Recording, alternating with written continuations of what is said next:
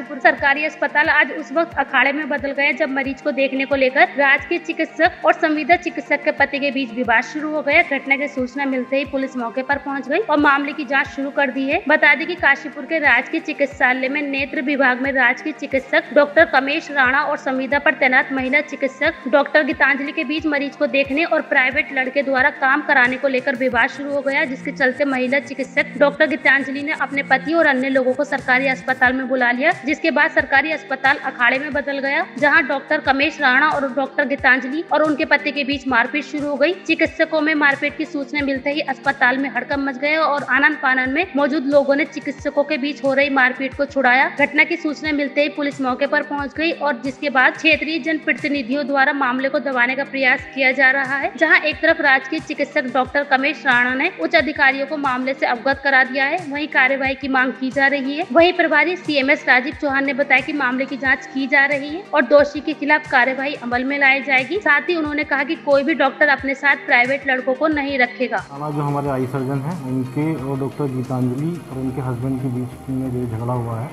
हाथापाई जो हुई है, उसमें जो है हमारी तरफ़ से जो है कार्रवाई की जाएगी और कार्रवाई के साथ साथ जो है जो भी दोषी पाया जाएगा, उसके खिलाफ विभागीय कार्रवाई की जाएगी। बात का कारण अभी पूरी तरह से मुझे पता नहीं चल पाया है, क्या विवाद है इनका आपस में।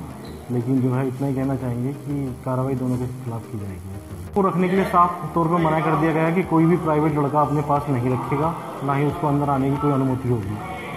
तो अगर कोई लड़का रखता है बाहरी प्राइवेट तो वो गवर्नमेंट सेक्टर के अंदर नहीं आ सकता है। इसके खिलाफ कार्रवाई की जाएगी।